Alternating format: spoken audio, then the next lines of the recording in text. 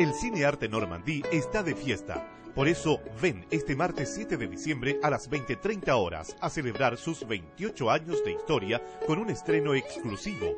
Ex, todos tenemos uno. La última comedia de Fausto Brizzi. Ven, te esperamos con el mejor cine acá, en el Normandí.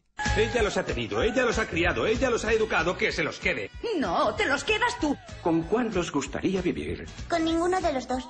Te digo que sí, que el cura es Lorenzo. ¿Tu ex? Ni hablar, no pienso dejar que me case. No solo no soy impotente, soy potentísimo. Y tú lo sabes muy bien. ¿Qué estás diciendo?